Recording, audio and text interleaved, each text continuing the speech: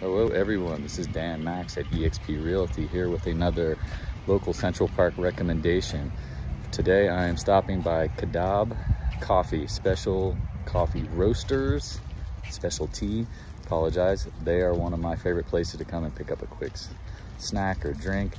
I know a lot of people like Starbucks, but I like supporting the local businesses in Central Park. Here you go. Yeah, here's the entrance as you're walking in Nice little seating area, big fan of. Very cozy, not a lot of wasted space. You got some snacks, got a nice little seating area.